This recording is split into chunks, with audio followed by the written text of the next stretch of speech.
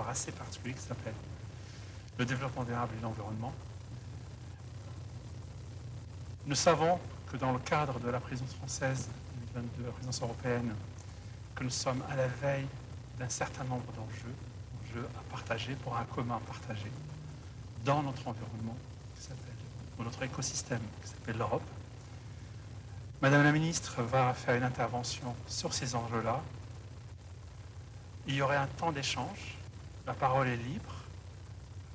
Il n'y a aucun, aucune limite dans le cadre républicain de, l'échange, du dialogue. Et ce que j'espère, c'est que de cette journée-là, le marqueur fort, ça serait de faire avancer un certain nombre d'idées. Et je suis sûr que Madame la Ministre ne fera avancer sur un certain nombre de points. Bye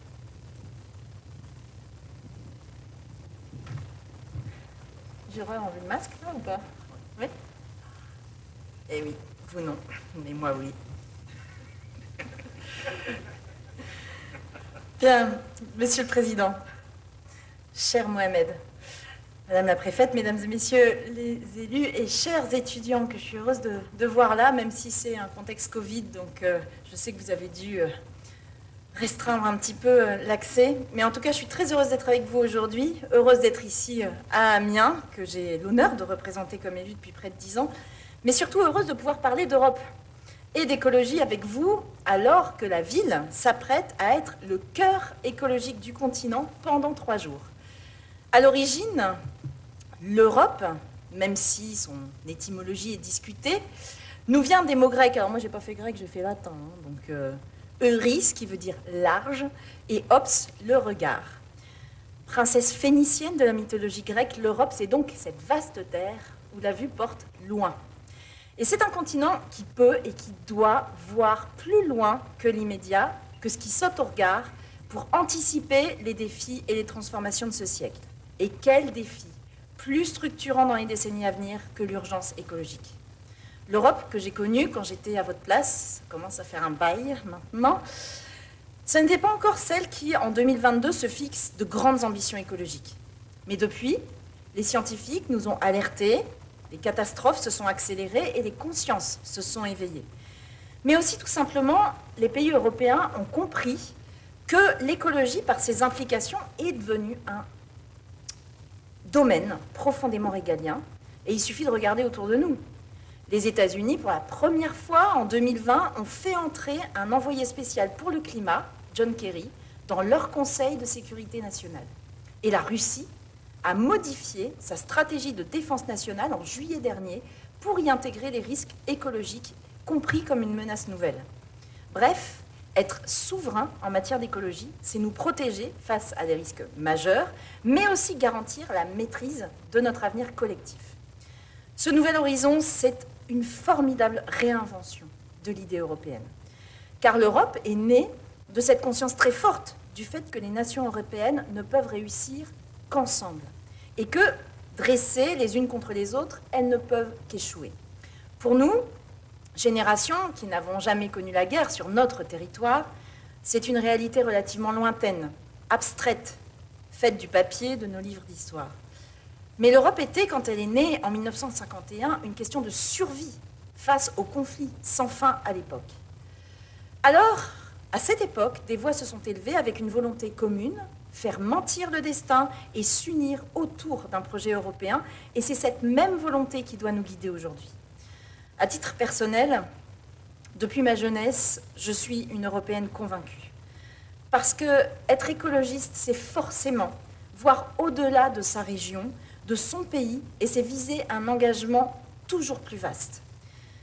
Et c'est parce que aussi j'ai eu la chance d'étudier euh, dans notre région, alors c'était à Lille, c'était pas à Amiens, Lille qui est une ville profondément européenne, qui est aux portes du Royaume-Uni, du Benelux et de l'Allemagne, comme nous. Et c'est aussi pour ça que j'ai voulu que tous nos collègues européens voient Amiens et voient qu'entre Paris et Lille, il y a une sacrée ville. Alors aujourd'hui, nous le savons, c'est loin d'être rose en Europe. J'ai bien conscience que certaines décisions qui ont été prises ces dernières années, notamment avec le rejet du projet de constitution européenne en 2005, ont pu faire reculer la cause européenne. Bien sûr, nous faisons face euh, à des périls internes, de l'euroscepticisme, du nationalisme, de la tentation du repli. Mais la réalité, c'est que ce projet politique européen est en train de se revitaliser, et ce, en grande partie, grâce à la transformation écologique de notre continent. Aujourd'hui, la crise environnementale, c'est bien évidemment un danger pour l'Europe comme pour le reste du monde. Le dernier rapport du GIEC, le groupe international des experts sur le climat, nous l'a encore rappelé cet été. Au rythme actuel des émissions de gaz à effet de serre, le réchauffement climatique dépasserait les 3 degrés autour de ce siècle. Et en parallèle, la dégradation de la biodiversité s'accélère au niveau mondial, avec un million d'espèces animales et végétales aujourd'hui menacées d'extinction. Pour éviter ces scénarios catastrophiques, une seule solution, agir, vite et bien. Alors je sais bien qu'il est profondément injuste que votre génération ait eu à grandir avec le poids de cette urgence. J'ai une fille, moi, qui a à peu près votre âge, et je pense souvent au fait que quand j'avais son âge, j'avais une certaine insouciance sur ces sujets-là. Alors on avait d'autres problèmes, on avait le sida, euh, on en avait d'autres. Mais cette insouciance que j'avais ne pourra jamais sans doute être la sienne. Mais nous ne pouvons pas baisser les bras. L'Europe, écrivait Jean Monnet dans ses mémoires, se construira dans les crises. Et c'est en effet peut-être l'essence du projet européen. Menace à la paix dans les soubresauts des deux guerres mondiales, crise économique en 2008 et aujourd'hui crise écologique sont autant d'obstacles qui se mettent en travers du projet européen mais autant d'obstacles dont les Européens ont fait des tremplins. La preuve, récemment, l'Europe, vous le savez certainement, s'est dotée d'une ambition nouvelle. Avec le pacte vert qui a été adopté en 2019, les États membres ont pris un engagement fort, celui d'être le premier continent neutre en carbone au monde d'ici 2050.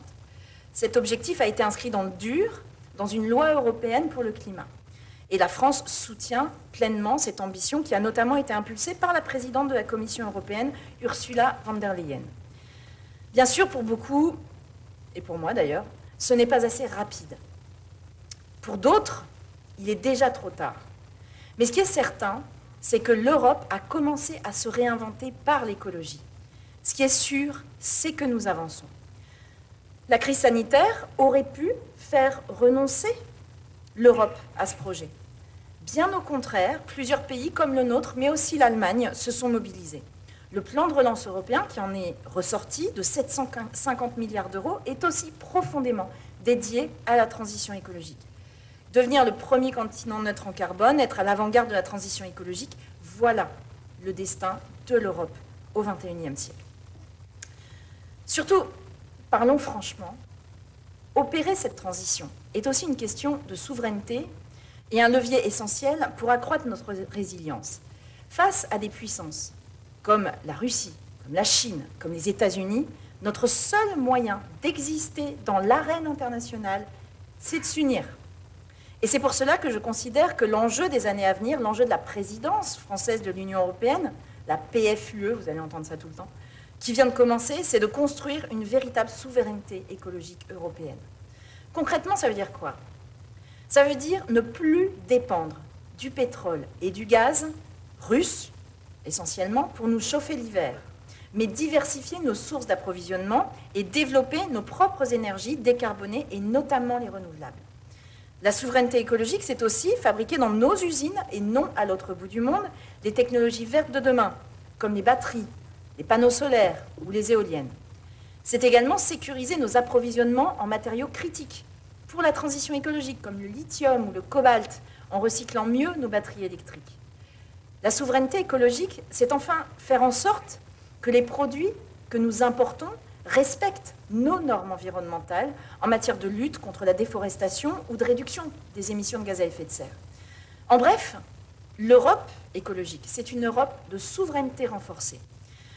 Je crois aussi et surtout que l'Union européenne, c'est l'échelle pertinente pour une action efficace sur le plan environnemental. L'Europe, c'est une force de frappe à la mesure du défi écologique qui nous attend. La population de la France, c'est 67 millions d'habitants.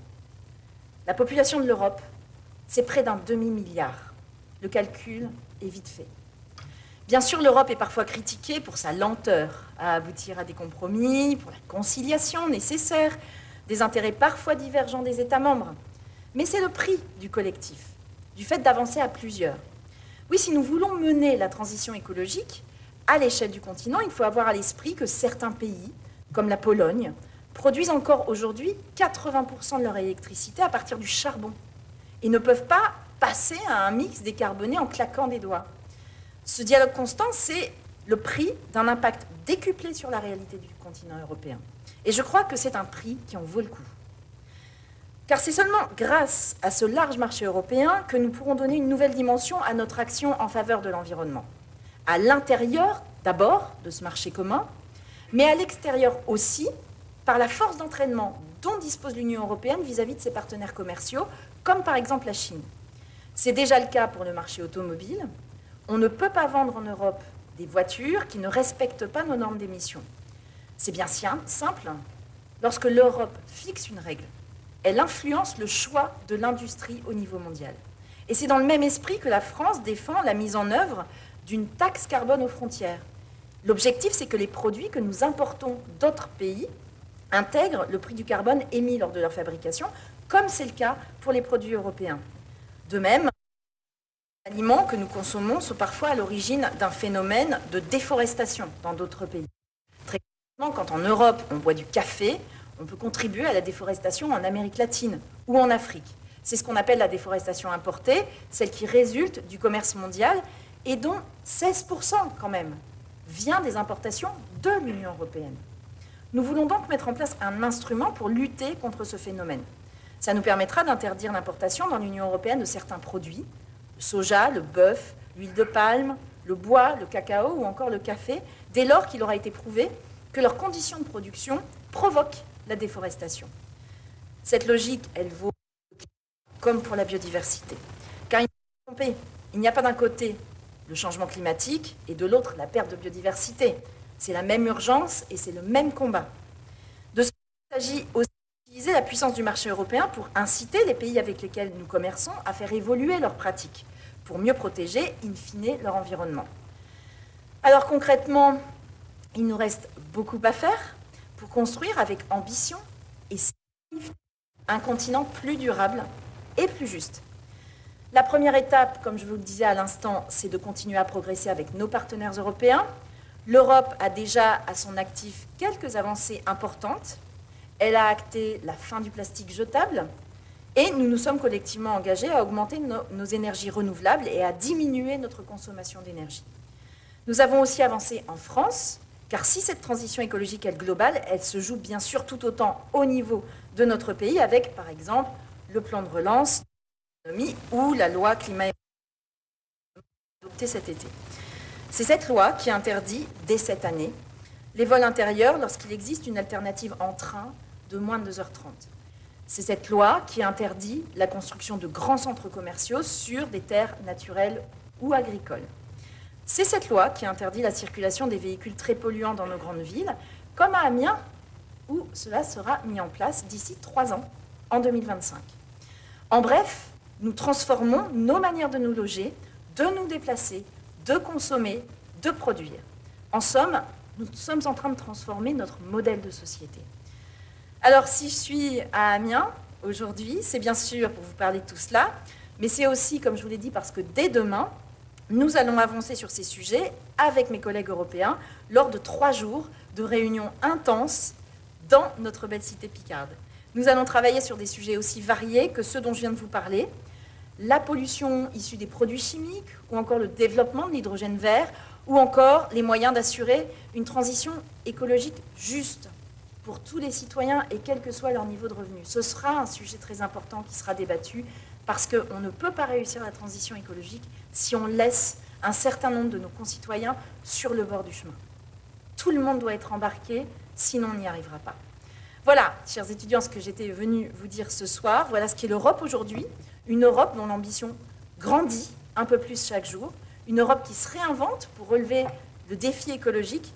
Et une Europe qui aura besoin que les nouvelles générations, c'est-à-dire vous, reprennent le flambeau.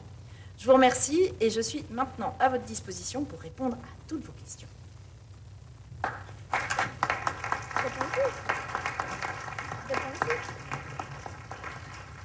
Merci beaucoup, Madame la Ministre. Donc, euh, les chers étudiants, Nous sommes à l'écoute de vos questions.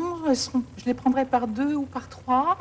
Euh, si euh, une question en appelle d'autres sur la même thématique avec éventuellement une variante, ce sera un bon moyen de regrouper les questions. Donc, qui souhaite intervenir?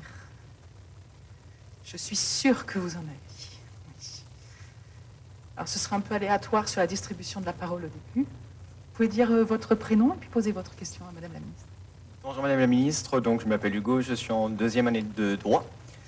Alors, euh, vous doutez bien que j'avais beaucoup de questions à vous poser, on pourrait... On va commencer par une et puis on y reviendra après. C'est pour ça que j'ai beaucoup de questions à vous poser, mais euh, donc il faut faire un choix. Donc je vais vous en poser deux, je vais être rapide. Le, la première, c'est un très beau discours euh, sur la souveraineté, c'est quelque chose qui me plaît. Mais il y a des choses que je trouve qu'il y a un paradoxe en fait, un paradoxe français, mais également un paradoxe européen, c'est qu'on est toujours là à se dire, mais je veux consommer local, je veux consommer euh, bio par exemple, ou je veux consommer euh, made in France ou made in Europe, mais dans le même temps, les gens bah, consomment de plus en plus chinois, consomment de plus en plus des produits qui viennent d'ailleurs. En fait, ils disent des discours et dans les faits, ils font autre chose. Et c'est vrai qu'on se dit, mais est-ce que les gens sont prêts à faire une transition écologique? Et je veux rebondir sur le fait que vous parliez de l'interdiction du plastique. Je me dis, c'est très bien l'interdiction du plastique, mais je me dis en même temps, est-ce que les gens n'ont-ils pas leur comportement à changer aussi? Parce que le problème du plastique, c'est aussi que bah, les gens le jettent, c'est comme les mégots de cigarettes, les gens le jettent dans la rue, les gens jettent ça n'importe comment, dans les plages, et c'est pour ça qu'on retrouve énormément de plastique. Et euh, deuxième question, et j'en arrêterai là pour aujourd'hui. Euh, hier, je marchais euh, dans la rue des, Trois Cailloux hier soir, et une phrase m'a traversé la tête. Je me suis dit, ne serait pas-il temps de faire briller notre belle Europe?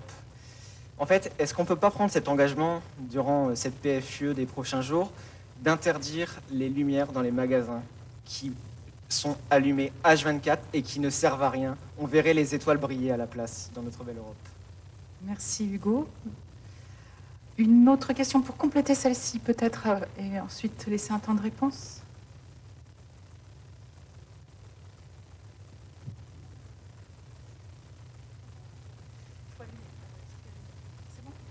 Bonjour Madame la Ministre. Euh, bah, du coup, je vais rebondir un peu sur les, propos de mon collègue, euh, notamment sur la pollution plastique. On sait aujourd'hui qu'il existe un supercontinent dans les océans de, plastique et je voudrais savoir quelles sont les actions de l'Union européenne et du ministère de la Transition écologique pour bah, dépolluer justement et récupérer ces déchets plastiques dans les océans et quelles mesures vous comptez mettre en place à l'avenir pour bah, justement éviter aussi la pollution des cours d'eau euh, avec euh, des produits euh, toxiques émanant des usines qui peuvent se trouver à côté et essayer encore de récupérer ces déchets plastiques. Merci. Est-ce que vous souhaitez répondre, Madame la Ministre, ou vous souhaitez prendre une autre question en complément? Ah, Moi, je peux répondre à tout tout de suite, si vous voulez, si ça, peut donner des idées, si ça peut donner des idées aux autres première question qui a été posée par, euh, par Hugo, est-ce que les gens sont prêts?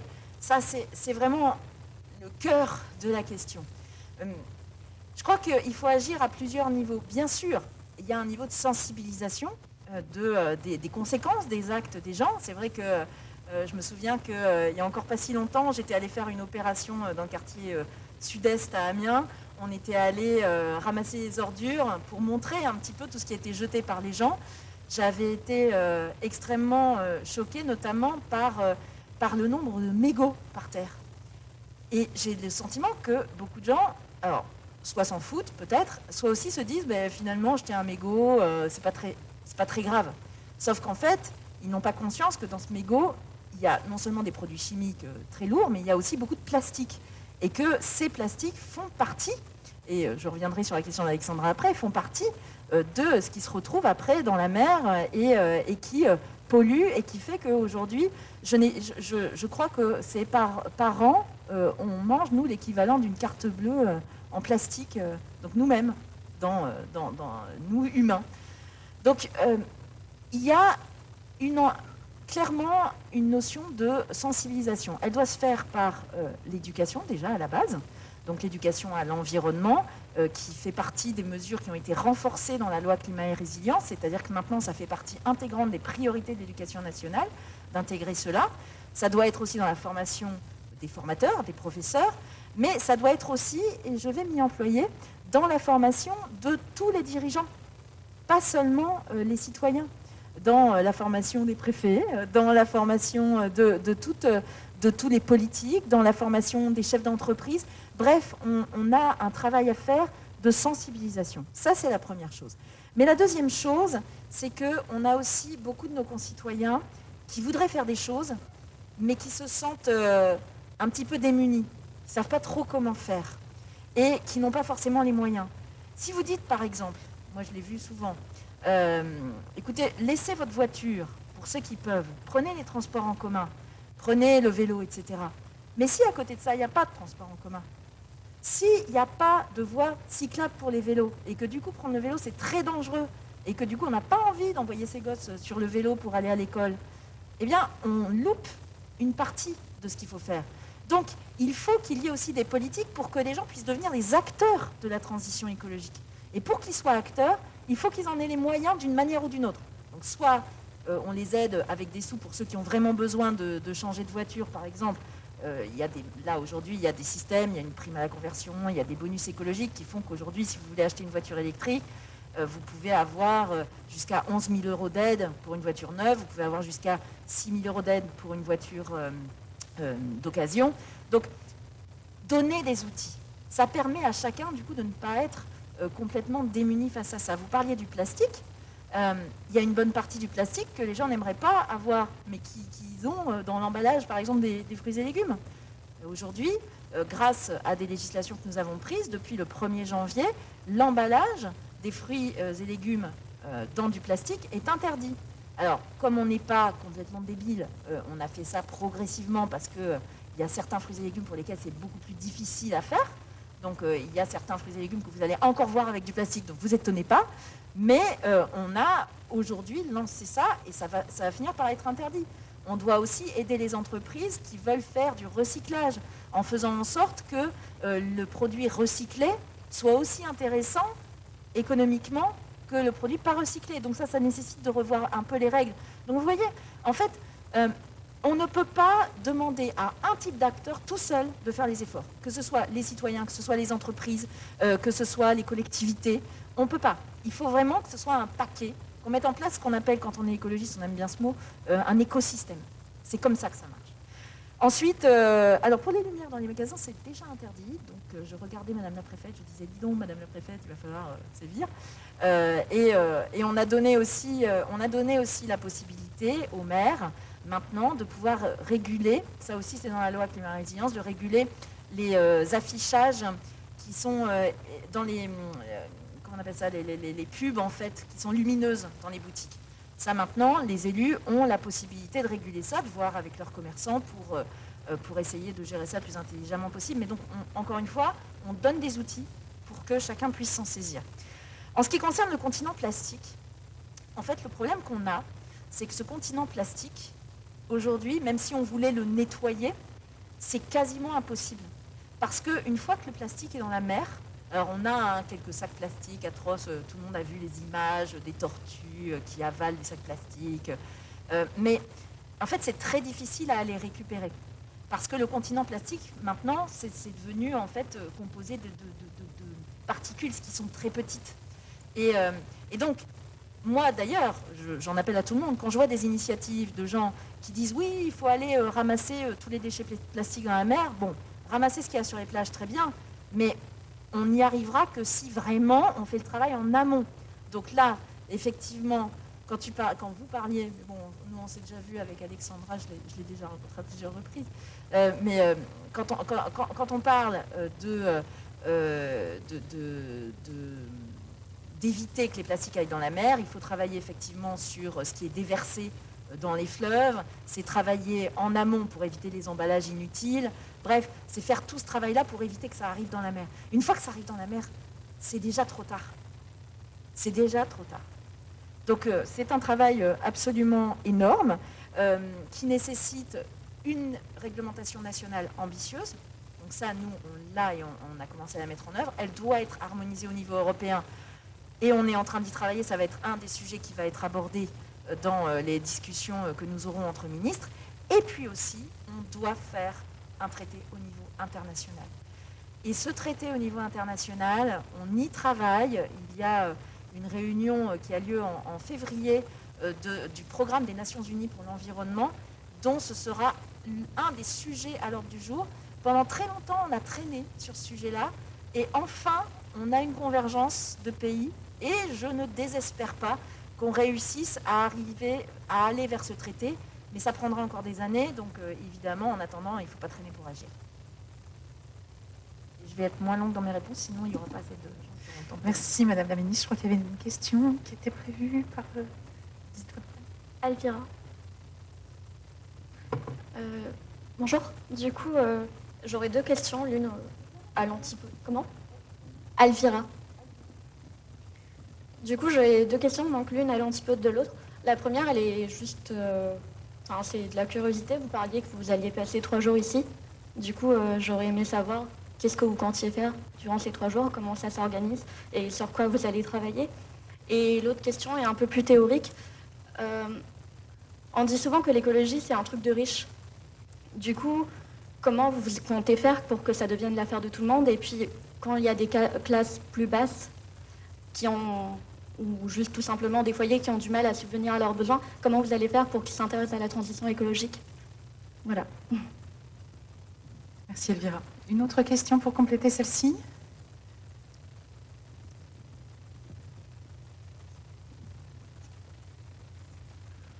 Bonjour Madame la Ministre, merci pour votre intervention.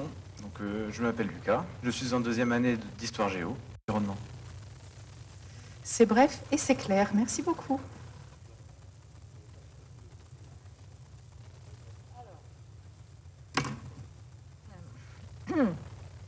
Alors, Elvira, d'abord, euh, c'est Elvira, hein, c'est pas Elvira, c'est Elvira.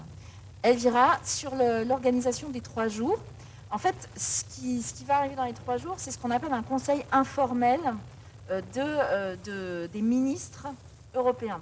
Donc en fait, il va y en avoir deux qui vont suivre. On va commencer par les ministres de l'Environnement et on va passer ensuite aux ministres de l'Énergie et on va avoir une journée euh, vendredi où ça va être à cheval et où on va parler des sujets qui mixent environnement et énergie.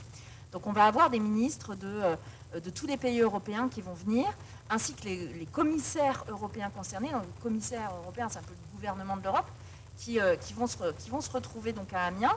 Et on va avoir des séquences de discussions avec eux. C'est quoi la différence entre un conseil informel et informel?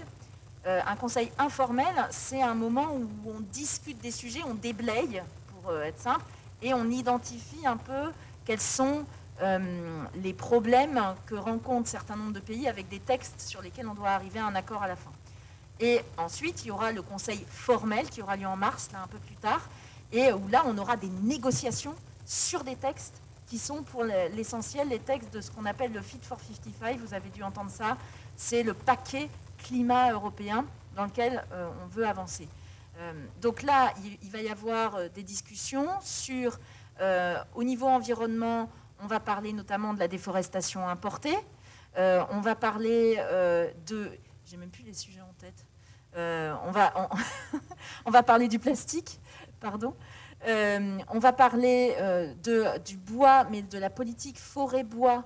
Comment la politique forêt-bois peut être euh, une politique qui peut nous aider euh, à protéger notre environnement, à faire des puits de carbone, mais aussi à développer euh, une filière, parce que c'est très important. On va parler des pesticides, qui sont un sujet qui est à cheval sur agriculture et environnement, mais vous voyez bien l'enjeu des pesticides aujourd'hui face, aux enjeux environnementaux. ensuite, on va parler un peu plus tard donc, des prix de l'énergie. Vous avez vu que c'est un petit sujet en ce moment ça va rejoindre un des, points euh, qui a été soulevé par un de vos collègues. Euh, on va parler de euh, l'efficacité énergétique, des énergies renouvelables. N'oublions pas aussi que l'efficacité énergétique, ça ne paraît pas, mais toute énergie qu'on ne dépense pas, c'est une énergie qu'on n'a pas à produire, donc c'est important. et puis, on va parler aussi des batteries. Vous savez que les, batteries aujourd'hui, c'est un enjeu extrêmement important si on veut développer la mobilité électrique, les voitures électriques. Aujourd'hui, euh, on ne construit pas assez, euh, même quasiment pas, de batteries en Europe.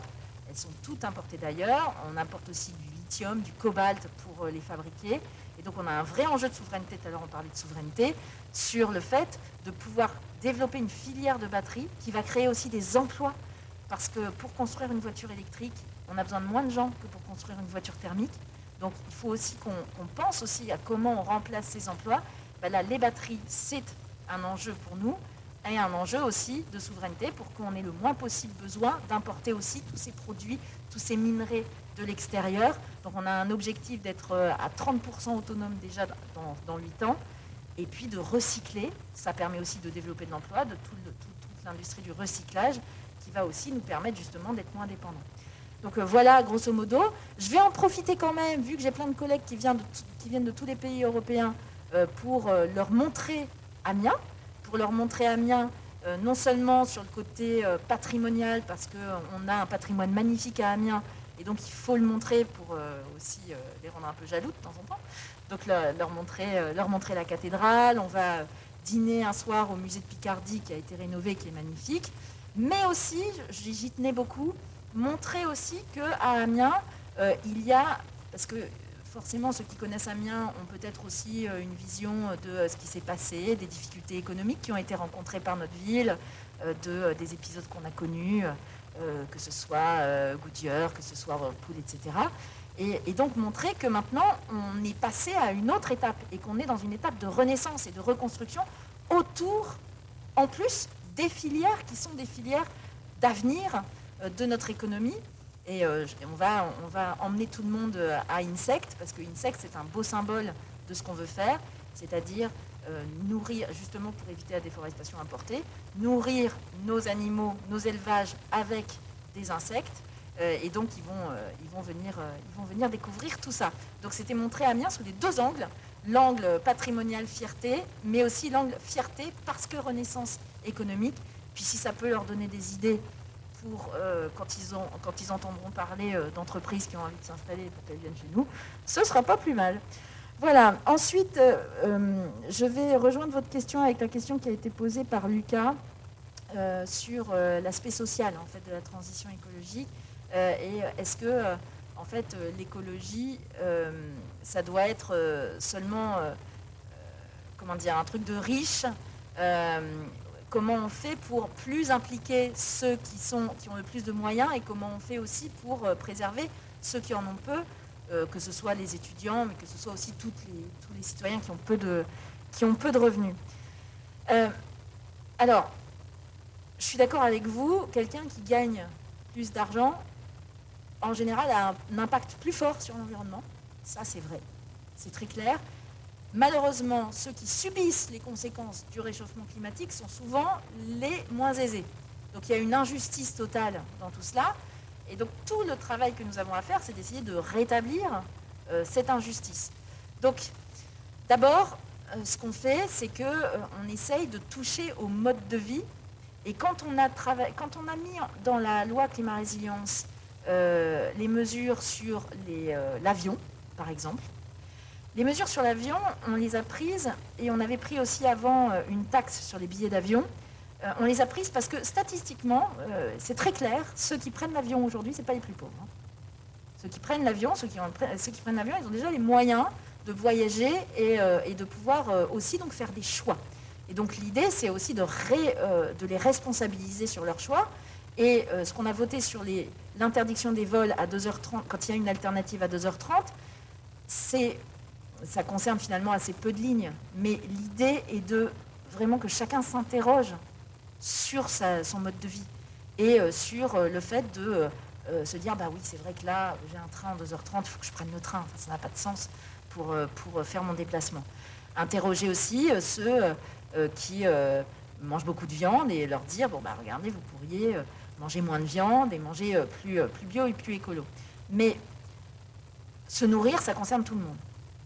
Et donc, ce qu'on veut aussi, c'est que l'accès à euh, de la nourriture de qualité, à la nourriture bio, euh, ne soit pas réservé que à quelques-uns. Et aujourd'hui, c'est vrai, le bio est plus cher que, la nourriture non bio. Et donc, pour cela, euh, on a. pourquoi je me suis battue beaucoup pour qu'on ait des menus végétariens dans les cantines? Je me suis ba- battue beaucoup pour ça, parce que, pour deux raisons. D'abord parce que euh, ça donne à voir que des menus végétariens, d'abord, ça peut être aussi équilibré qu'un menu avec de la viande, mais aussi ça permet à des gens qui n'ont pas l'habitude de pouvoir euh, y difficulté à des cuisiniers de pouvoir se familiariser. C'est pas notre culture. hein. Notre culture, c'est le steak frites. Hein. C'est pas euh, les menus végétariens. Donc, de changer cette culture, mais aussi de donner des débouchés aux agriculteurs, notamment par le biais de la commande publique. Donc, les, les facs. Tu es obligé dans ta fac de faire des menus végétariens maintenant. hein. Ouais C'est bon? Il y en a? Ouais Ouais. Moyen? Bon. Mohamed Ouais, bon. Euh, donc la commande publique, ça donne des débouchés aux agriculteurs, ça leur permet de sécuriser leurs revenus, et à force, ça va finir par faire baisser les prix. Et en plus, euh, la viande, c'est un peu plus cher, la viande de bonne qualité, mais si on en mange moins, là, on pourra se permettre d'acheter une bonne viande une fois de temps en temps et de manger après de la nourriture de qualité qui soit, qui soit pas avec de la viande. Donc en fait, tout ce qui est... euh, euh, moi, je vous l'ai dit dès le début et je l'ai dit dans mon, dans mon discours d'introduction. Si on n'emmène pas les gens qui ont le plus de difficultés, on n'y arrivera pas. Parce que les gens se révolteront parce qu'ils n'auront pas de solution et parce qu'ils trouveront que c'est injuste. Aujourd'hui, on a un vrai sujet avec les prix de l'énergie, par exemple. Ça coûte très cher euh, aux gens de se déplacer et de, se chauffer. Encore plus en ce moment avec les prix du gaz qui explosent et qui ont des conséquences en chaîne sur les prix du pétrole, sur les prix de l'électricité, etc. Donc là, on a mis en place des mesures qui sont des mesures d'urgence pour aider euh, ceux qui en ont le plus besoin. Le chèque énergie, euh, il a été, il a été réabondé, donc pour que les gens aient plus d'argent sur leur chèque énergie. On a mis en place aussi une mesure de 100 euros pour euh, tous ceux qui gagnent moins de 2000 euros par mois pour qu'ils puissent euh, amortir la hausse des prix du carburant. Mais tout ça, et puis d'autres mesures, on a bloqué les prix du gaz, on a blo- bloqué l'augmentation des prix de l'électricité, on a pris toutes ces mesures-là. C'est des mesures d'urgence qu'il faut prendre. Mais à côté de ces mesures d'urgence, il faut qu'on ait des mesures structurelles. Et donc c'est tout le travail qu'on fait sur notamment le fait d'aider les gens à isoler leur logement. Ça se fait dans le logement social, ça se fait aussi euh, pour euh, les petits propriétaires avec des aides qui ont été distribuées. Et aujourd'hui, les aides de ma prime Rénov, qui est euh, l'outil qu'on peut utiliser pour ça, elles sont à plus de 80%. Aujourd'hui, hein, on a les statistiques, elles sont à plus de 80% pour des gens à faible revenu. Donc ça veut dire que ça marche. Ça veut dire que ça marche, ça veut dire que ça marche, mais que c'est un début. Mais pourquoi on aide les gens à isoler leur logement? Parce que si leur logement est bien isolé, ben, ils auront moins besoin de le chauffer, tout simplement. Et donc, ils auront moins besoin euh, de dépenser de l'argent pour leur chauffage.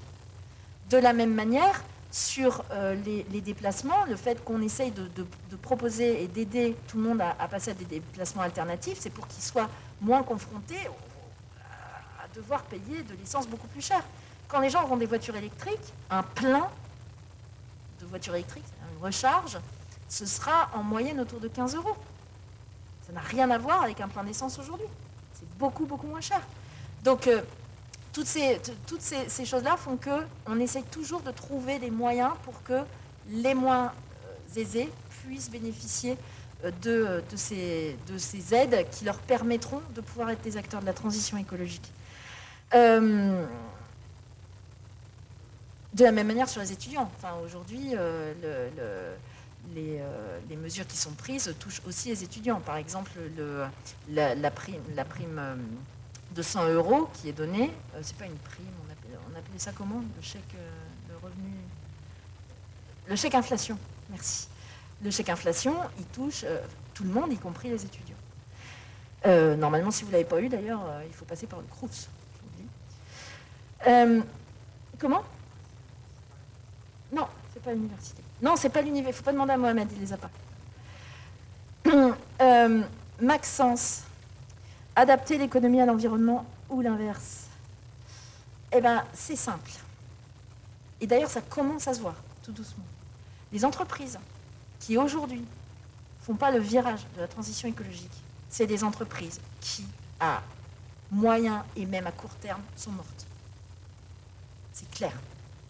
Ceux qui ne prennent pas le virage sont des entreprises qui n'ont pas d'avenir. Et donc, euh, elles commencent à le ressentir. Euh, De plus en plus maintenant, euh, ça a commencé par les grandes entreprises. Vous savez que les grandes entreprises, elles commencent à avoir du mal à recruter des cadres parce que beaucoup de cas, beaucoup de jeunes étudiants qui arrivent dans les entreprises disent Moi, je veux donner du sens à ce que je fais. Et donc, vous avez une entreprise ultra polluante qui fait aucun effort. Eh ben, ils vont avoir plus de mal à recruter que des entreprises qui vraiment sont dans une démarche. Après, toute la question, pour moi, c'est d'éviter le greenwashing. Euh, parce que, euh, euh, parfois, en désespoir, je me dis, bah, au moins le greenwashing, ça veut dire quand même qu'ils se posent la question. C'est déjà ça. Mais, mais ce n'est pas suffisant. Et donc, on a mis aussi dans la loi climat résilience, et on est en train de travailler pour approfondir ça, le fait que les entreprises euh, doivent en, fait travailler sur leurs objectifs bas carbone et avoir euh, pas seulement un objectif, mais avoir une feuille de route dont elles doivent rendre compte sur la manière dont elles arrivent à ces objectifs. Parce que sinon, on peut tous dire, ouais, moi demain, euh, je rase gratis, euh, c'est facile. Non, on a, euh, on a besoin d'avoir des, euh, euh, d'avoir des référentiels. Et donc, on travaille là-dessus. Et puis, on a besoin de travailler avec toutes les filières. Donc là, chaque filière va euh, travailler sur un contrat pour euh, justement se verdir. Je parlais tout à l'heure de la filière automobile, c'est un bon exemple. La filière automobile, pendant très longtemps, a refusé de voir le virage de l'électrique.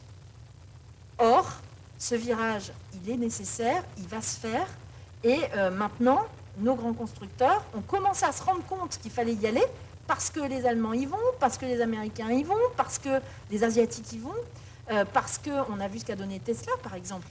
Tesla, d'un seul coup, ils sont arrivés, ah, ils ont massacré euh, le, marché. Euh, maintenant, les Tesla, ça fait partie des premières voitures vendues en Europe parce qu'ils y sont allés à fond. Donc, on a nos constructeurs qui ont réagi un peu tard. Maintenant, ça, va, ça passe l'accélérateur.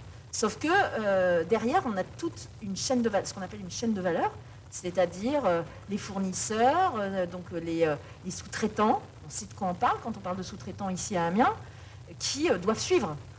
Et là, d'un seul coup, c'est dur parce que euh, ça, va trop vite par rapport à une évolution normale. Donc tout le travail que nous, on doit faire, c'est d'identifier sur les territoires comment on peut faire pour que euh, ça ne se fasse pas dans la douleur, pour pas qu'il y ait des, entreprises qui ferment, mais pour faire en sorte que les compétences puissent être utilisées par le développement d'autres types d'industries. Je vous parlais euh, tout à l'heure des industries du recyclage, euh, de, euh, des industries aussi sur les, les renouvelables. Pareil, hein, on doit faire beaucoup de renouvelables dans notre pays. Moi, je suis heureuse de voir qu'enfin, on commence à fabriquer des éoliennes sur notre, sur notre territoire. Ça m'amuse pas, moi, de voir des éoliennes qui ont été fabriquées ailleurs, qui arrivent sur notre territoire. Donc, on a une usine au Havre. C'était d'ailleurs un joli symbole. Au Havre, on avait une centrale à charbon qui a fermé. Pile en face de la centrale à charbon, aujourd'hui, on a une entreprise, une très grosse entreprise de pales d'éoliennes offshore qui est en train de, s'implanter et qui va recréer des emplois euh, à cet endroit où des emplois et allait être perdu, même si c'était euh, c'était une entreprise EDF, donc les gens étaient reclassés, mais vous voyez ce que je veux dire, la logique de ce que je veux dire. Donc, la réponse est très claire à votre question. Euh, adapter l'écologie à l'environnement ou adapter l'environnement à l'écologie, c'est adapter, non l'économie, pardon, c'est adapter l'économie aux contraintes environnementales avec euh, évidemment euh, tout, le, encore une fois, l'écosystème qu'il faut mettre en place. On a des réglementations à faire évoluer, on a des normes à faire évoluer et des incitations à faire. Donc, c'est- quand je vous disais qu'on est en train de changer de monde, je le pense vraiment. Mais maintenant, il faut le faire sans casse sociale. C'est tout le sujet. Merci. D'autres ques- d'autres questions? Bonjour Madame la Ministre. Euh, donc, je m'appelle Amélie, je suis en Master 1 droit international européen et j'avais une question sur euh, la protection des océans euh, parce qu'on sait qu'on peut capter 20% des émissions de gaz à effet de serre en protégeant 5% des océans de la planète. Euh, par exemple, la France a répondu aux objectifs posés par euh, la Convention sur la, diver- la diversité biologique en matière de conversion des zones marines en, zone, en aires marines protégées. Donc euh, c'est une très belle avancée, ça permet de protéger la biodiversité également. Mais on constate qu'un faible pourcentage de ces aires marines bénéficient d'une forte protection. Donc je voulais savoir s'il y avait des mesures qui sont envisagées pour améliorer euh, la protection des océans et de la biodiversité marine. Est-ce qu'il y a d'autres questions en lien avec la protection de la biodiversité? Bonjour, euh, Madame la Ministre. Je suis Loïc. Euh, au discours de ce matin au Parlement euh, européen, euh, Emmanuel Macron a évoqué un sommet euh, pour les océans. Euh, cependant, la France elle est encore très attachée à défendre la pêche. Euh, on peut le constater parce qu'il y a plus chaque année de 11 000 dauphins qui sont échoués sur les plages françaises de l'Atlantique. Euh, Est-ce que le- justement il y aura des mesures euh, pour repenser les quotas de pêche et euh, les méthodes de pêche euh, en Union européenne? Oui. Une autre question, peut-être? Alors bonjour, je m'appelle Félix et je suis étudiant en quatrième année de médecine. Euh, alors moi, ce sera sur un. Est-ce que tu peux lever la main, Ah, Félix? oui, pardon, Merci. Euh, ce sera sur un sujet un petit peu différent, donc je ne sais pas si je la pose maintenant aussi. Ouais, ok. Donc c'est sur la rénovation thermique des bâtiments. On a eu un plan France Relance en 2020 qui a doté de 700 millions, la, consacré à la, spécifiquement à la rénovation des bâtiments euh, universitaires. Euh, bah, c'est un, effort déjà qui est tout à fait encourageant. Cependant, un rapport parlementaire récent indique tout de même que 31% des bâtiments universitaires sont dans un état peu satisfaisant. Euh, et on a seulement 19% des surfaces universitaires qui sont jugées éco-responsables. Alors la question est simple, euh, quelle suite euh, pour la rénovation thermique des bâtiments universitaires et peut-être après aussi un peu plus largement Et je vais me permettre une petite question supplémentaire sur le, le. Euh, quelle stratégie en fait, du moins dans quelle direction est-ce qu'on va? Est-ce que c'est plutôt une coordination des stratégies nationales en préservant la souveraineté des États membres? Ou est-ce qu'on est plutôt sur une, là, une politique commune quitte à léguer un petit peu de souveraineté à cette entité euh, supranationale. Donc des questions euh, assez techniques et qui montrent aussi que nos étudiants s'intéressent de très près à toutes ces questions. Merci beaucoup. Bah oui, moi c'est ça qui m'intéresse, c'est, c'est les vraies questions de fond. Euh, alors, euh, sur, euh, sur la protection des océans, il y a plusieurs choses. Euh, on, on a un objectif euh, qui est un objectif qu'on veut porter effectivement, c'est Amélie hein, qui posait la question euh, à, la, à la CVD, donc effectivement à la Convention pour la diversité biologique. Donc c'est la fameuse COP 15 qui va avoir lieu en Chine un jour. J'espère qu'elle va arriver. Et on porte, avec un certain nombre de pays, euh, notamment avec le Costa Rica, on a lancé ça, ce qui s'appelle la coalition de la haute ambition, pour arriver à 30% d'aires protégées. Euh, alors, ce n'est pas seulement aires marines d'ailleurs, hein, c'est des aires protégées euh, marines et terrestres euh, donc, sur toute la planète. Pour l'instant, on a déjà un but qui est d'essayer de rallier le plus grand nombre de, pays possible parce qu'on a besoin que tout le monde se mette d'accord sur le fait qu'il faut qu'on protège un certain nombre de- de territoires pour justement préserver la biodiversité. Mais vous avez complètement raison, si on s'arrête là, c'est pas assez. C'est-à-dire que euh, si euh, les aires protégées, par exemple, ne sont pas euh, sont pas juste surveillées, ça ne sert à rien.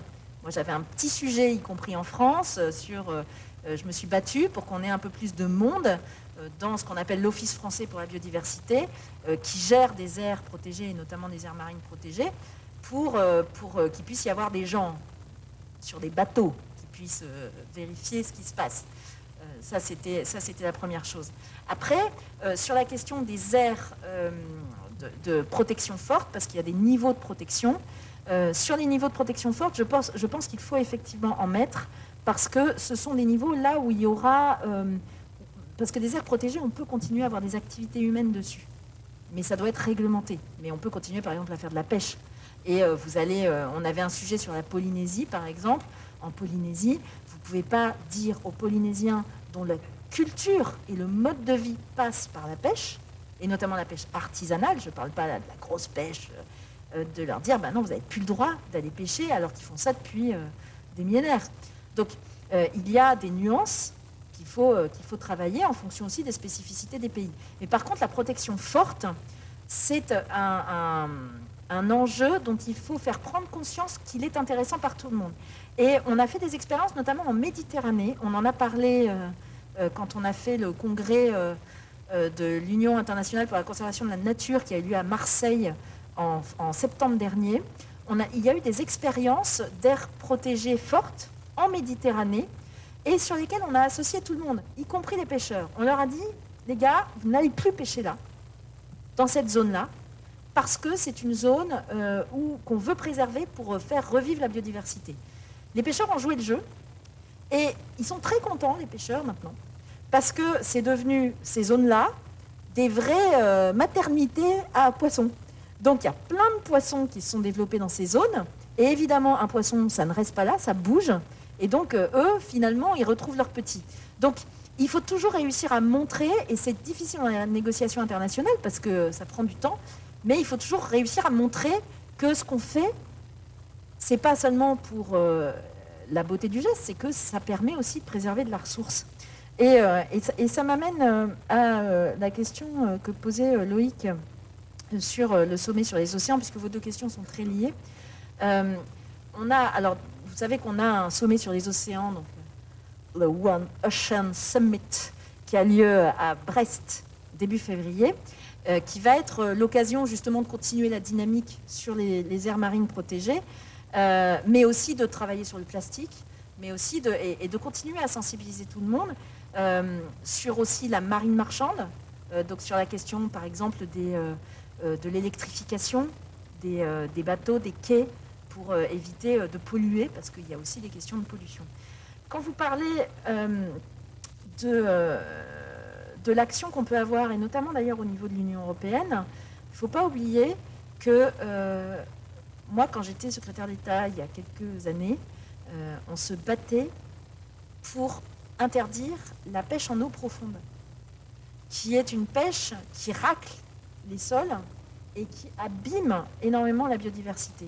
Ben, grâce euh, au travail qu'on a fait avec l'Union européenne, aujourd'hui, maintenant, la pêche en eau profonde est interdite. Ça a été dur avec les pêcheurs, parce que vous dites que euh, a toujours un regard sympathique vis-à-vis des pêcheurs. C'est vrai d'ailleurs, ils ont besoin de pouvoir travailler. Euh, ça a été dur, mais on a réussi à l'obtenir. Et maintenant, tout le monde doit s'y faire. Là, on travaille euh, sur. euh, je sais qu'il va y avoir des initiatives, euh, notamment sur la préservation des tortues aussi. Ça, je vous dis pas tout ce qui va se passer à Brest, sinon c'est pas drôle. Sinon, je, je tease trop. Mais sur la question des dauphins, c'est un sujet de préoccupation. Parce qu'effectivement, on a des échouages de dauphins massifs qu'on a eu l'année dernière. Cette année, ça recommence. On a déjà pris un certain nombre de mesures, notamment pour, pour équiper les bateaux de pêche de ce qu'on appelle les pingers, qui sont des, euh, des dispositifs pour euh, euh, effaroucher, entre guillemets, les cétacés, c'est-à-dire pour que ça les gêne et donc qu'ils s'écartent. Et et on, a, on a demandé aux pêcheurs de prendre un certain nombre de mesures. On a aussi demandé, ça c'est très important, à tous nos organismes scientifiques d'essayer de comprendre le pourquoi de ce phénomène. Parce que si on ne comprend pas pourquoi, c'est un peu difficile de s'attaquer à la cause. Mais quoi qu'il en soit, on sait que, quelle que soit la cause, la pêche est un sujet puisque des pêcheurs récupèrent des, dauphins euh, dans leur, euh, dans leur filet. Donc euh, aujourd'hui, on est un peu dans l'entre-deux, c'est-à-dire qu'on a mis en place un certain nombre de dispositifs. Il y avait des idées qui avaient été évoquées de limiter la pêche dans certains endroits pour justement protéger les dauphins. On est en train de, là, de faire un retour d'expérience sur les installations effectives de pigneurs, voir si on a équipé suffisamment de bateaux, voir si le phénomène se reproduit massivement comme l'année dernière. C'est dans cette période-ci, hein, donc c'est maintenant que ça va en venir. Et euh, si on voit que euh, clairement les mesures n'étaient pas suffisantes, ben, on va en prendre d'autres. Et alors, je termine par Félix. Euh, sur la rénovation thermique. Alors, aujourd'hui d'abord, on a réussi. Sur la rénovation thermique, on a le sujet que j'ai expliqué tout à l'heure pourquoi on le fait, mais on a aussi un besoin globalement de baisser nos émissions de gaz à effet de serre sur tout notre parc euh, immobilier, donc que ce soit euh, les bâtiments euh, privés ou publics, puisque c'est un, vecteur d'émissions de gaz à effet de serre très important. Donc, il faut qu'on soit plus efficace. On a eu beaucoup de rénovations qui étaient des rénovations, mais qui n'étaient pas suffisantes, c'est-à-dire juste un changement de chaudière, et ce qui était financé. Donc là, on travaille pour faire des rénovations qui sont globales et complètes. Pour arriver à ça, pour arriver à ça, il faut qu'on ait un réseau d'artisans qui soient prêts, qui soient formés, qui soient suffisamment nombreux. Moi, quand j'entends des gens qui me disent oui, il faut faire, euh, un mur tout de suite, oui, d'accord, euh, mais euh, c'est qui, le fait? Donc, il faut qu'on mette toute une filière en branle pour que ça marche. On a aussi un besoin de travailler sur les matériaux biosourcés. Donc, il y a, toute la, filière du bois, du bois pour, pour faire des, des armatures, euh, pas des armatures, euh, du bois, enfin, du bois bâtiment. des ossatures bois, euh, toute cette filière-là est encore trop peu développée en France. Donc il faut aussi que parallèlement, on avance là-dessus. Et ce qu'il faut aussi, c'est qu'on donne de la prévisibilité. Il faut que les entreprises euh, se disent, ça vaut le coup de former mes gars, ça vaut le coup d'investir là-dedans, parce que ça va continuer à être soutenu, parce que ça coûte cher. Et donc, ma prime rénov, nous, on s'est beaucoup battu avec ma collègue du logement, Emmanuel Vargon, pour qu'elle soit pérennisée et pour qu'on euh, on puisse se dire que dans les années à venir, il y aura euh, suffisamment d'appui public pour que ça marche. Et donc là, on est très content parce que déjà, là, on a réussi à bloquer 2 milliards pour l'année prochaine pour pouvoir euh, faire, faire avancer ma prime rénov. Donc ça, c'est important. En ce qui concerne les bâtiments universitaires, il y a déjà eu dans ma prime rénov, pas seulement ma prime rénov, dans le plan de relance, on a eu aussi, je crois de mémoire, là je regarde les gens de mes équipes qui vont me faire des gros yeux si c'est pas ça, mais on a eu, on a mis 4 milliards sur les bâtiments publics. C'est ça, hein c'est 4 milliards. Ils savent pas, ils s'en foutent, ils sont en train de regarder autre chose. non, je crois on a mis 4 milliards sur les bâtiments publics. Les bâtiments publics, c'est les bâtiments de l'État. Donc, euh, euh, ça peut être euh, des bâtiments administratifs, ça peut être l'hôpital ou les universités. Et d'ailleurs, à Amiens, France Relance a financé la rénovation des bâtiments à Saint-Leu. Ah, n'est-ce pas? Tout à fait. et donc, donc, on a déjà commencé à le faire. Après, on part de très très loin. Parce que les bâtiments universitaires notamment sont des bâtiments qui ont été construits pour une bonne partie d'entre eux à une époque où on se foutait complètement des performances énergétiques. Donc le vivier est très important, mais euh, on, a mis beaucoup d'argent dans le plan de relance et on va continuer à mettre de l'argent parce qu'on voit bien qu'il y en a besoin.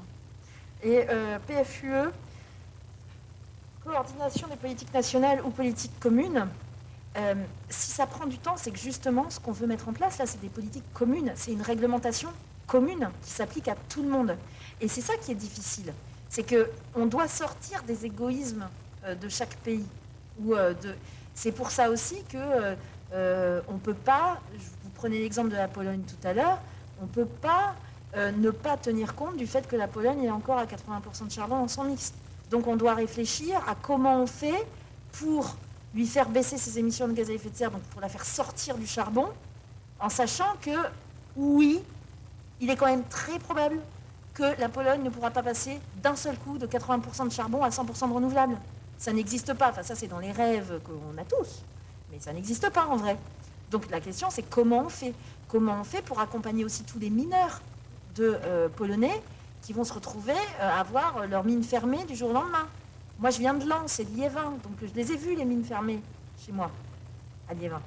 je peux vous dire que euh, aujourd'hui encore, 30 ans plus tard, 40 ans plus tard maintenant, mon Dieu, euh, c'est encore sinistré parce qu'on n'a pas bien préparé ça. Et donc tout ce qu'on est en train de faire là, dans notre plan pour baisser de 55% les émissions de gaz à effet de serre de l'Union européenne, c'est de travailler avec toutes ces contraintes et de trouver des solutions pour que tout le monde puisse monter à bord. On parlait des populations... Euh, euh, qui avaient des faibles revenus en France, il faut qu'on les fasse monter à bord, et eh ben on doit aussi faire monter à bord ceux qui sont plus en difficulté. Donc c'est tout l'art de ce qu'on est en train de faire pendant cette présidence, mais ça vaut le coup. Parce que je suis persuadée que l'Union européenne est beaucoup plus forte si elle est intégrée que si c'est 27 pays, chacun dans son coin, euh, qui tirent dans tous les sens.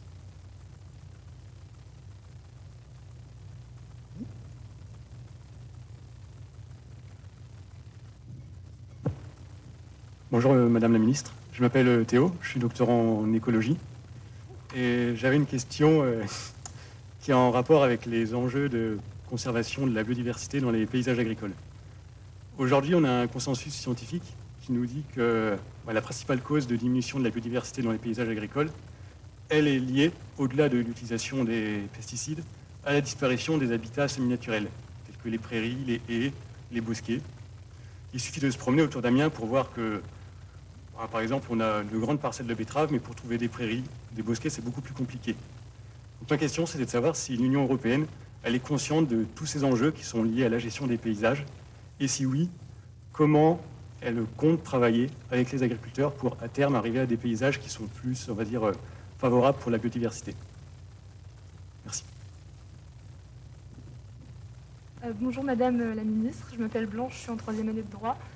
Euh, J'avais une question pour savoir s'il y aurait par exemple des mesures qui seraient prises euh, concernant les déchets euh, français et européens euh, qui sont exportés vers des pays d'Afrique, et notamment les, déchets des panneaux solaires euh, qui sont exportés au Ghana.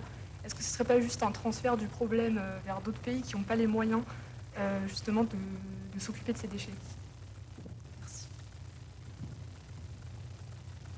Euh, bonjour madame, je m'appelle Louis, je suis en L3 de géographie. Et j'aurais une question sur l'agriculture aussi. À l'heure où les gens veulent consommer toujours plus local et bio, quels sont vos moyens d'encourager les agriculteurs et surtout les petites, les petites exploitations à produire bio Parce que mon père est agriculteur et ça lui semble compliqué car euh, tous les produits nocifs comme les pesticides et tout, ça permet malgré tout de produire plus, d'augmenter ses, ren- ses rendements et donc ses revenus. Et pour rebondir, euh, si on considère que cette mise au bio euh, permet de produire moins par unité de surface, euh, Est-ce que ça ne va pas encourager aussi euh, l'importation de, de ressources extérieures? Une question encore? Euh, oui, je m'appelle Jérémy. Je suis en master d'écologie également. Et j'avais une question du coup concernant euh, l'augmentation de l'urbanisation sur notre territoire, pas seulement en France, mais en Europe, qui sont la première cause d'érosion de biodiversité. Donc euh, toute cette euh, érosion entraîne la disparition d'espèces, certes, mais aussi des services écosystémiques qu'ils nous rendent. Et je voulais savoir si vous étiez sensible à ça, premièrement, je pense savoir que oui. Et si au cadre, dans un cadre européen, il y a des projets de cohésion entre les pays afin de lutter contre cette érosion de biodiversité. Merci pour vos questions.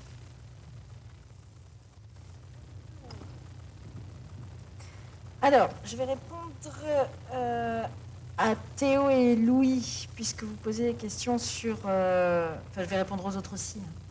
Euh, sur la sur l'agriculture et la conservation de la biodiversité, même si c'est pas tout à fait le même angle, vos deux questions. On a maintenant, maintenant, on commence à avoir une prise de conscience.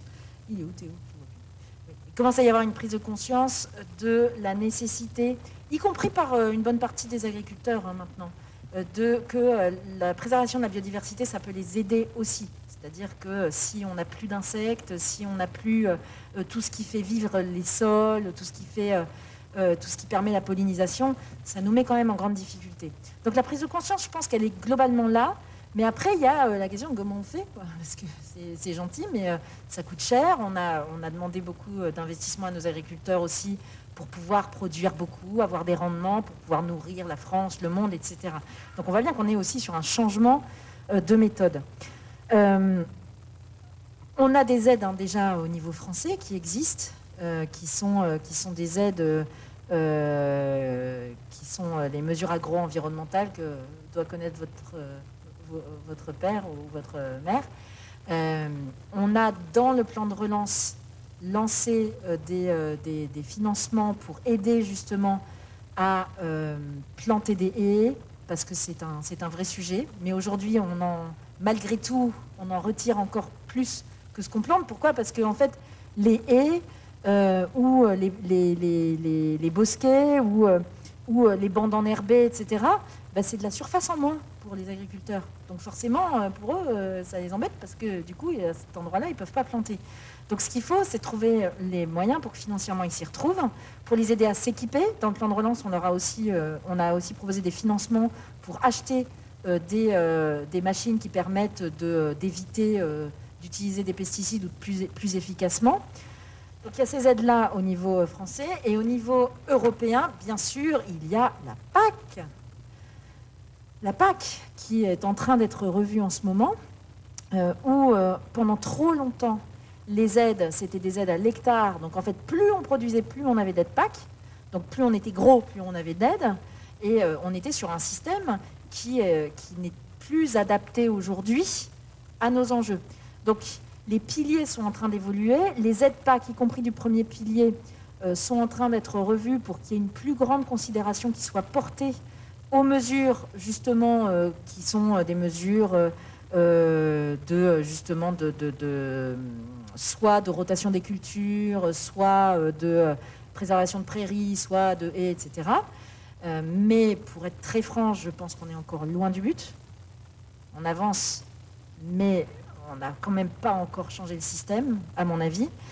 Et, et pour, pour aider aussi à se passer de pesticides, il y a la réglementation européenne, parce qu'il ne faut pas qu'on se fasse concurrence entre nous.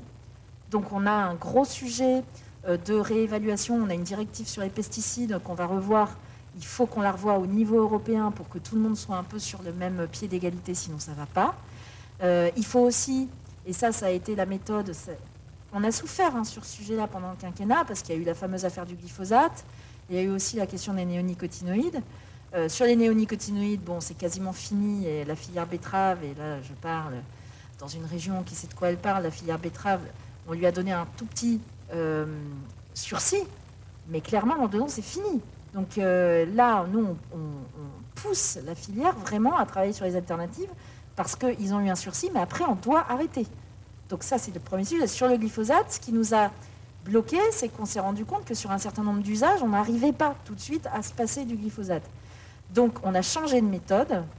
On a, changé de méthode et on a demandé à l'ANSES d'identifier sur toutes, avec l'INRAE, sur toutes les utilisations du glyphosate sur lesquelles il y avait une alternative possible euh, qui était euh, gérable d'un point de vue euh, financier et qui était meilleure évidemment en- d'un point de vue environnemental, sinon c'est ridicule. À chaque fois qu'on a trouvé une alternative, on a interdit l'utilisation du glyphosate sur ce type euh, euh, d'utilisation.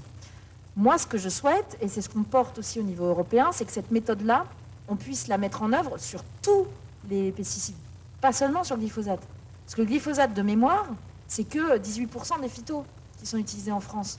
Donc même si on interdisait 100% du glyphosate, on aura encore euh, 82% euh, qui ne seraient pas gérés.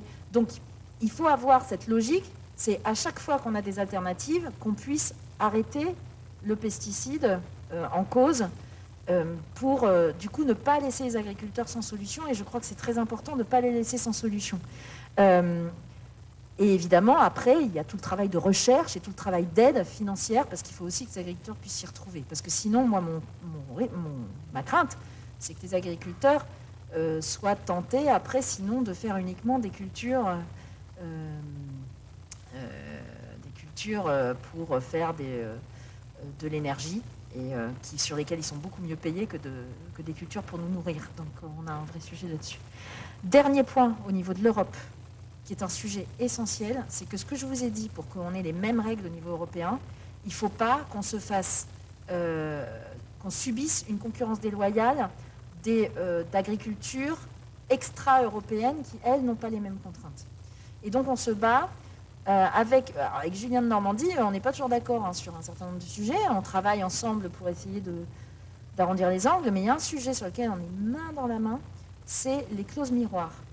Les clauses miroirs, c'est une, une mesure qu'on travaille au niveau européen pour que euh, tous les produits donc, euh, agricoles, mais pas seulement d'ailleurs, on va le faire sur d'autres, sur les textiles par exemple, qui arrivent sur le marché européen, doivent avoir les mêmes normes environnementales, les mêmes normes en termes d'apport de pesticides, etc., que les, normes qu'on impose à nos agriculteurs.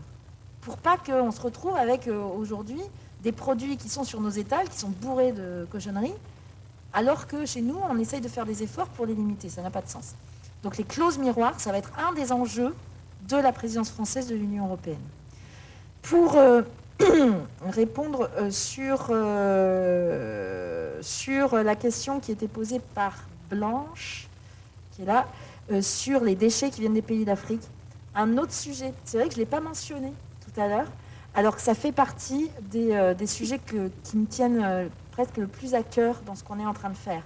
On a une réglementation sur justement les transports de déchets, et notamment des déchets électriques et électroniques, qui sont ceux dont vous parliez, euh, qui arrivent au Ghana après, qui sont une catastrophe. Je pense que vous avez dû voir les mêmes reportages que moi, mais qui sont, euh, qui sont une horreur. Aujourd'hui, on a un vrai manque de contrôle et on a un vrai manque de règles. Donc on va avoir une réglementation qui va être une réglementation très contraignante sur ces déchets. C'est-à-dire que dans la réglementation qui est prévue, on ne pourra envoyer les déchets que si on a vérifié que sur place, il y a une, véritable possibilité de les traiter. Or, aujourd'hui, il n'y a pas de vraies vérifications qui sont faites. Et euh, en plus, parce qu'on dit, oui, mais finalement, ça peut resservir, ou etc. Alors, en fait, ça ne resserre jamais. Et parce que, en fait, c'est pas traité, enfin, c'est pas qualifié comme des déchets. Enfin, bref, il y a des questions euh, réglementaires euh, très précises là-dessus, mais c'est un des sujets sur lequel je parle sous le contrôle de Philippe, je sais pas où il est. peut peut-être espérer arriver à une position du Conseil, non, pendant la PFUE Oui ouais. On va, on va le pousser. Euh, ça, ça veut dire quoi? Une position du Conseil, ça veut dire que les ministres se mettent d'accord, enfin les, les- les États se mettent d'accord sur une position. Après, le Parlement européen lui-même prend une position sur le même règlement. C'est ce qu'on appelle les trilogues, c'est le fonctionnement merveilleux de l'Union européenne. Et euh, à la fin, quand tout le monde s'est mis d'accord avec la Commission aussi, qui rentre dans, on dit trilogue parce qu'il y a la Commission, après, ça devient une réglementation en dur. Celle-là, je pense que c'est une réglementation qu'on peut avoir assez vite et qui peut arriver assez vite. Et je crois que si on a réussi à faire ça, moi, j'aurais le sentiment d'avoir été très utile. Très, très utile. Et ça, ça ne peut se faire qu'au niveau de l'Union européenne. Encore une fois, au niveau français, on ne peut pas le faire. Donc, euh, je croise les doigts et je passerai, j'informerai un peu plus sur cette réglementation-là parce que c'est vrai qu'on n'en parle pas assez dans nos, euh, dans nos alors qu'elle est absolument cruciale. Et c'est en ce moment que ça se passe. Enfin, Louis, non, Louis, je lui ai répondu. Jérémy, euh, sur l'urbanisation, euh, les... c'est un sujet de préoccupation très fort parce que ce qu'on appelle l'artificialisation, il est Louis, c'est- je l'ai reperdu. Là-bas. Euh, ce qu'on appelle l'artificialisation des sols, c'est une plaie. C'est une plaie. Il s'avère qu'en France, on fait partie des champions. On est très fort là-dessus. Et euh, c'est une catastrophe puisque ça nous enlève toutes les capacités qu'a euh, la nature de nous protéger. L'urbanisation des sols, c'est ce qui fait qu'on a plus d'inondations, c'est ce qui fait qu'on a des variations de température plus fortes, c'est ce qui fait que bah, dans nos campagnes, on peut avoir euh, des euh, coulées de boue. Euh, euh, euh, c'est- c'est un, ça nous empêche d'avoir aussi ce rôle qui est absolument essentiel de filtration de l'eau pour que notre eau soit meilleure et moins polluée. Bref, on, est dans une absurdité totale et en plus, ça n'a rien à voir avec le fait qu'on ait besoin de se loger. Parce que ça, moi, souvent, j'ai des élus qui me disent, bah ouais, mais enfin, vous comprenez, La ministre, euh, on a de la population et donc on a besoin de construire des maisons.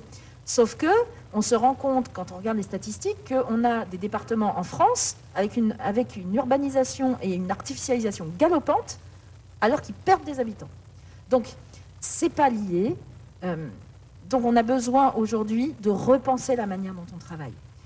Repenser la manière dont on travaille, c'est de se dire à chaque fois qu'on a besoin de construire, soit des maisons, enfin du, logement, soit des zones d'activité économique, euh, des, euh, des bureaux, euh, des centres commerciaux, etc. Toujours avoir l'idée, est-ce que j'ai pas au niveau français?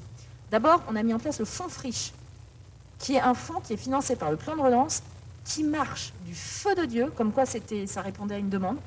C'est-à-dire que là, on met de l'argent pour aider notamment les collectivités qui ont des friches à pouvoir ben, les remettre en état pour pouvoir construire dessus. On a, utilisé du fonds friche ici à Amiens. hein, euh, on a plusieurs zones où on a utilisé du fonds friche, euh, notamment par exemple sur Cosra, sur la zone Cosra. Euh, une autre à côté du McDo. euh, je ne sais plus euh, comment ça s'appelle. Mais juste à côté du McDo, c'est pareil, on a mis du fonds friche, on en met un peu partout. Ça marche très bien, comme quoi c'est un outil qui était nécessaire et qui rencontre une demande. Donc euh, euh, ça marche très bien et on va le continuer. D'ailleurs, le président, euh, le Premier ministre a annoncé à Amiens qu'on réabondait le fonds friche parce qu'on a tellement de projets qu'on va les utiliser. Mais deuxièmement, on a mis dans la loi un objectif qui met en émoi un certain nombre d'élus, et je comprends, qui est un objectif de zéro artificialisation nette d'ici 2050. Zéro artificialisation nette d'ici 2050, ça veut dire qu'on ne peut plus artificialiser euh, sans euh, qu'il y ait de la désartificialisation de l'autre côté. Alors, on n'est pas fou, on le fait progressivement, donc d'ici 2030, on demande juste à diminuer par deux la vitesse d'artificialisation. Donc ça veut lien avec les collectivités, que tout le monde se mette d'accord pour voir là où vraiment on ne peut pas faire autrement, mais là où par contre, bah tiens, on pensait le faire, mais on ne va pas le faire et on va faire autrement.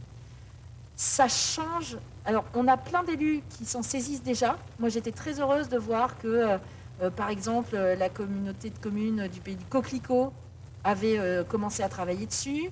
Dans l'est de la Somme aussi, aussi. À Amiens, on sent que c'est un peu plus compliqué, qu'il y a des choses bien qui se font, d'autres où on sent qu'il n'y a pas encore ce réflexe qui a été pris.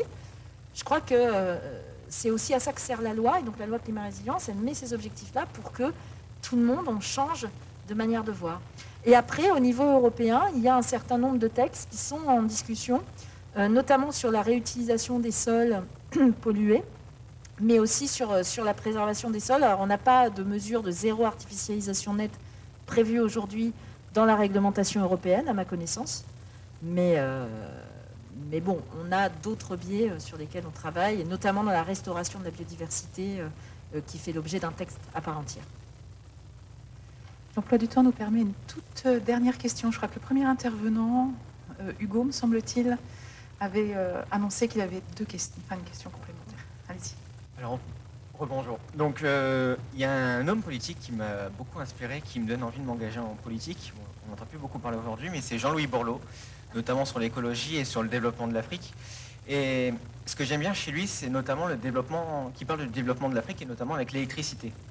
Et c'est vrai que je trouve que l'Union européenne a intérêt à se saisir de ce sujet parce qu'on a la Chine qui vient de plus en plus conquérir euh, l'Afrique et ça peut être un danger, comme vous aimez bien parler, comme j'approuve tout à fait le terme de souveraineté européenne. À l'avenir, ça peut être un danger euh, géopolitique. Donc, comment faire Comment les États européens, je ne pense pas que c'est quelque chose qui se fera là avec la PFUE, mais dans les prochaines années, comment faire pour développer l'Afrique, que ça soit au niveau économique aussi, parce qu'aujourd'hui, ce sont de la migration euh, euh, de l'Afrique vers l'Europe, c'est bien parce qu'il y a un manquement dans leur pays.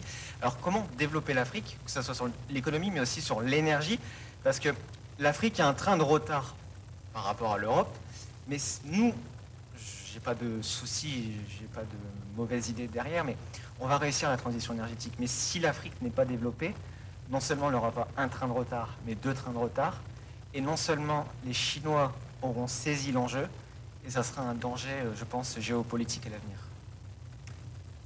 Oui, vous avez raison. Et puis, euh, il faut qu'aujourd'hui, on, on considère que tout humain a le droit à avoir accès à un certain nombre de services de base. Et, euh, et la question d'avoir accès à l'électricité est un sujet absolument important. Et en plus, il s'avère que euh, l'Afrique est un continent qui a des ressources pour pouvoir développer l'énergie électrique, et notamment des ressources renouvelables. Le solaire, par exemple, euh, mais euh, aussi du vent. Enfin, on peut faire en Afrique. La Chine a très bien compris les enjeux, effectivement. On est sur un sujet géopolitique très important. Qu'est-ce qu'on peut faire, nous, face à ça? D'abord, il y a un piège dans lequel on doit ne pas tomber. Et ça, c'est un piège sur lequel euh, moi, je vais insister pendant les trois jours qui vont venir, puisque vous savez qu'on est en train de développer en Europe une stratégie hydrogène. C'est très important, cette stratégie hydrogène, parce que ça va nous permettre euh, notamment euh, de faire du stockage d'électricité et aussi d'avoir une source d'énergie intéressante. L'hydrogène, nous, en France, on a une stratégie euh, de euh, la développer parce qu'on a un mix électrique bas carbone. Je rappelle que l'hydrogène euh, peut se faire par électrolyse avec de l'électricité. Et donc, nous, ce qu'on veut, c'est de l'hydrogène verte et pas de l'hydrogène qui est fabriqué à partir de pétrole ou de gaz. Donc, l'hydrogène verte ou décarboné, parce que nous, on a du nucléaire, donc on porte aussi l'hydrogène décarboné. Cet hydrogène-là, nous, on veut le produire sur notre territoire. Et donc, on va faire des usines d'électrolyseurs un peu partout en France, et tant mieux, en plus, ça va faire du, boulot pour tout le monde, et on va pouvoir en mettre dans les camions, etc. D'autres pays européens qui n'ont pas je pense à l'Allemagne par exemple, qui n'ont pas notre mix décarboné, qui sont encore beaucoup au charbon, au gaz, euh, se disent, ben, c'est pas grave, on va aller fabriquer de l'hydrogène dans d'autres pays, et notamment au Maghreb par exemple, qui ont beaucoup de soleil, et puis, bah, cet hydrogène, on va le faire euh, remonter ensuite par euh, des tuyaux pour euh, arriver et pour alimenter l'Europe. Ce truc-là me pose deux problèmes. Le premier, c'est que si on fait ça, on va remplacer une dépendance, celle qu'on a vis-à-vis du gaz russe par exemple, par une autre, ce qui ne me paraît pas bon. Et deuxièmement, ça me pose un problème un peu plus philosophique. C'est-à-dire qu'on va, dans ces pays-là, développer la production d'électricité pour faire de l'hydrogène pour les Européens. Et là, je pense qu'on a un problème de fond là-dessus. C'est-à-dire que euh, ce que je souhaite, moi, c'est que euh, l'électricité qui sera fabriquée en Afrique serve d'abord aux Africains. Et pas. euh, et après, s'ils en ont en trop, qu'ils veulent en revendre, très bien, tant mieux. Mais que que, ne fasse pas les choses à l'envers. Et ça, ça, ça m'embête beaucoup. Donc c'est un des sujets dont on va débattre euh, avec les collègues euh, euh, dans, la, session énergie. Et deuxième point, comment faire face à, la Chine? On a commencé à travailler, mais là c'est au-delà du niveau européen, mais l'Europe était partie prenante, sur l'aide à la transition pour un certain nombre de pays. On a lancé avec l'Afrique du Sud, qui, l'Afrique du Sud est dépendante, je crois, à 90% pour son électricité du charbon aujourd'hui, euh, et qui a des gros problèmes d'approvisionnement, ils ont des coupures tout le temps, enfin c'est une horreur. Euh, on a fait un contrat avec l'Afrique du Sud, un contrat qui, euh, qui lie l'Afrique du Sud, l'Europe, des pays d'Europe en particulier, dont la France et les États-Unis, pour et la Grande-Bretagne, de- le Royaume-Uni, pardon, pour les aider à faire leur transition. Et pas seulement des projets comme on connaît, euh, des projets qui sont financés par l'Agence française de développement, par exemple, qui sont ponctuels. C'est-à-dire, on va développer euh, dans un village un truc. Ou... Non, là, c'est un projet avec un gouvernement pour un changement euh, de euh, mix électrique, pour les aider euh, à passer aux renouvelables, pour les aider à développer la mobilité électrique, pour les aider euh, à, euh, faire cette transition et donc à se former aussi, et- etc. Donc c'est un plan qu'on a beaucoup euh, mis en valeur pendant la COP26 parce que c'est une nouvelle forme de contrat et qui euh, engage les États, mais qui les engage vraiment là pour euh, changer leur économie et pour qu'ils ne soient pas dépendants des autres. Moi, ce que j'ai vu de ce que la Chine faisait, c'était très intéressant, sauf que on se rend compte que souvent, ben, ils vont construire quelque chose, et puis après, ils laissent un peu le pays se débrouiller, et le service après-vente n'est pas forcément toujours fait. J'ai vu ça, c'était où C'était au Kenya, je crois que j'ai vu ça sur des routes, euh, des éclairages de route, où euh, ben, quand ça marchait pas, ben, on n'avait pas les pièces détachées.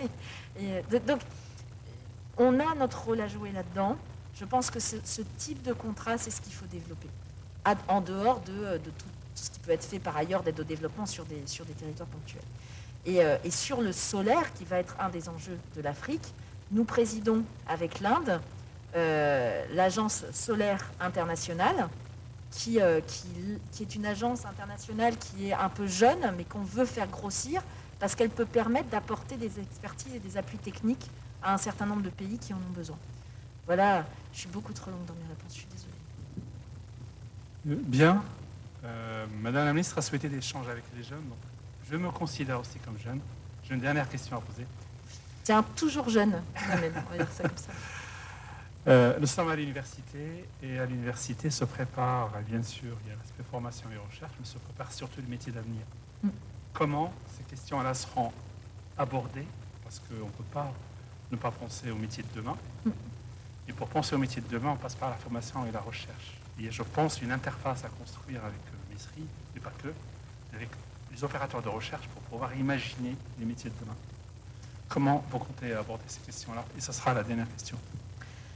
Oui, c'est vrai. Euh, on, a, une vraie réflexion sur comment on articule tout ça. Parce que euh, si on n'a pas euh, les gens formés pour les nouvelles filières, ça ne marchera pas. Donc, et c'est aussi pour ça que je dis qu'on on doit travailler maintenant en écosystème. Je vous parlais de contrat de filière tout à l'heure. Moi, je suis en train d'avoir une réflexion sur ce qu'on peut faire après, parce qu'évidemment, on ne peut pas tout faire en cinq minutes. Donc, moi, je crois que la prochaine étape, c'est plus de travailler seulement en termes de filière, mais en termes justement d'écosystème. C'est de voir comment, euh, sur un certain nombre de territoires, on va développer tel ou tel type de, euh, de, nouvelles filières et euh, de quels besoins on va avoir besoin, pardon, de de quelles compétences on va avoir besoin et comment on travaille avec les environnements locaux pour pouvoir se faire. C'est-à-dire que je pense que les universités ont un rôle à jouer dans une recherche un peu fondamentale et dans le développement des métiers de demain, on les connaît, mais je crois aussi qu'il faut qu'on ait une réflexion aussi plus territoriale sur la manière dont on euh, développe les compétences. Parce que tu parles des universités, mais moi je te parle aussi de toutes les formations euh, qui, sont des, formations professionnelles. Et les formations professionnelles, c'est à la main des régions, hein, je rappelle, qui sont des partenaires et qui doivent être des partenaires pour euh, développer tout ça. Donc on a, ça fait partie des discussions qu'on a eues avec, avec Frédéric Vidal, euh, qui est euh, très investi sur le sujet, mais euh, on est encore loin, loin, loin du compte. Mais évidemment, on ne fera pas ça sans aussi prendre les avis des, professionnels des universités. J'ai conscience, sincèrement, je sais que c'est épais dans le temps, il faut du temps, mais je sais aussi que ça sera l'occasion de remettre l'université au centre parce que les filières professionnelles actuelles vont dans le mur, étant donné qu'il n'y a pas une recherche qui les porte et qui apporte de, nouveaux regards. Je vous donne quelques exemples. On parle maintenant de, parce qu'on est quand même sur la notion de transition énergétique. Tous les métiers autour de, l'énergie ne sont pas dans notre territoire. Comment on va construire le territoire de demain? Je suis conscience qu'il ne faut pas dissocier l'université ou d'un écosystème. Donc je suis dans l'écosystème. Tout à l'heure, il y a des étudiants en écologie ont discuté de ça. Comment on va pouvoir porter des filières entières Ceux qui ont amélioré la bougie, ce pas les mêmes qui ont, qui ont inventé l'électricité. Donc il y a un changement de paradigme complet. Mhm. Donc on n'est plus dans l'accompagnement. Et là, on est plus dans la création. Et je crois que c'est un enjeu important. Et vous avez votre mot à dire parce que regarde le plan de charge que, que vous allez discuter certainement là. Il y a, je pense, derrière de l'incitatif à mettre pour que les gens s'y intéressent. Mhm. Parce que ça, ça, c'est pour moi Ouais, l'enjeu. je, je suis d'accord avec toi. Et on avait. euh, moi, j'ai des souvenirs doux amers hein, de certains nombres d'initiatives qui avaient été prises. En l'occurrence, il y a une dizaine d'années par le Conseil régional de Picardie, qui avait mis en place une formation à Amiens sur la maintenance des éoliennes, qui euh, n'a plus été soutenue après. Alors que euh, c'est dommage, parce que, en l'occurrence, qu'on aime ou qu'on n'aime pas les éoliennes, quand il y en a, c'est quand même dommage que la maintenance ne soit pas faite par nous. On a par contre des bons, des, exemples qui, à mon avis, sont des exemples qui vont à terme réussir. Tout le travail qui a été fait à l'UPJV autour euh, des batteries au sodium, avec, euh, en lien avec le CNRS, euh, avec quand même des pontes qui sont venus à Amiens pour apporter cette expertise-là. Moi, je continue à regarder ça de près. L'initiative Tiamat, qui, était, qui est issue de ce travail universitaire, de ce travail de recherche, euh, elle, a mis, euh, elle, a, elle a eu des difficultés au démarrage. Moi, je continue à suivre et euh, je peux te dire que je commence à faire comprendre à certains qu'avoir une alternative au lithium, c'est pas mal dans un moment où on va développer l'électrique partout. Et ça y est, ça commence à germer. Mais il faut effectivement du temps parce que chacun prend le truc le plus facile à prendre. Donc voilà, on a des batteries au lithium, bah, elles sont là. Il y a ce, ce- cette- ce lien. C'est pour ça que quand je disais construction d'écosystème, c'est ça. C'est euh, c'est- tout ce lien qu'il faut qu'on travaille ensemble. Mais euh, tout n'est pas fait encore, hein, loin de là. Questions et pour votre mobilisation. Merci à tous. Et ça me fait plaisir parce qu'on a plus parlé euh, environnement, biodiversité que euh, énergie, euh, éolienne, nucléaire, sur lesquels j'ai le plus souvent des questions. Donc ça me change un peu, ça me fait plaisir. Merci beaucoup à tous. Merci à tous. Merci infiniment.